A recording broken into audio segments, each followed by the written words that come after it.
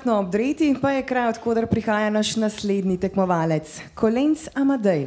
Obiskuje glasbeno šolo Nazarje, njegov mentor pa je Tomaš Guček. Obvezna skladba, ki jo slišimo najprej, nosi naslov Klic z gora, na to pa še skladba po izbiri Spomin.